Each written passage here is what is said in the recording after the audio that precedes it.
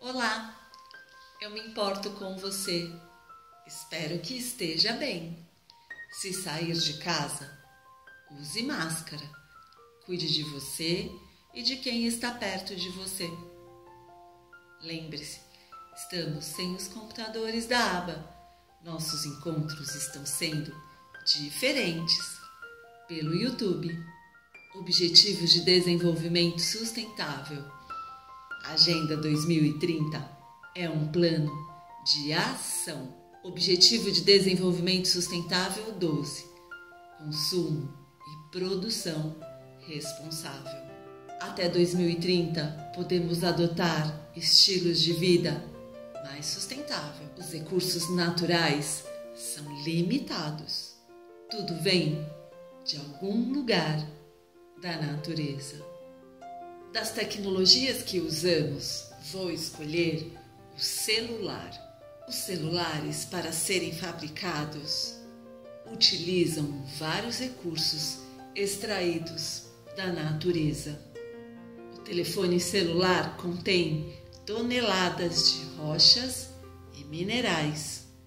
Para produzir o celular são usados o plástico, que vem do petróleo, a cerâmica e vários metais, como cobre, o níquel e o zinco.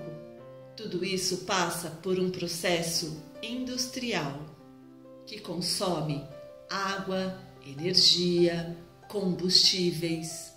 Nas fábricas, profissionais especializados usam os plásticos, metais e a cerâmica para produzir os principais componentes do celular: os circuitos, fios, a tela de cristal líquido, a bateria e a caixa plástica ou de metal. Depois de montado, o celular é embalado e transportado da fábrica até as lojas. O celular é prático e útil.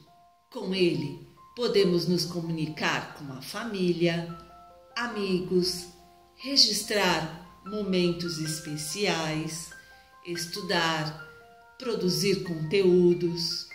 Mas precisamos lembrar: são aparelhos duráveis e não precisam ser trocados cada vez que um modelo novo aparece.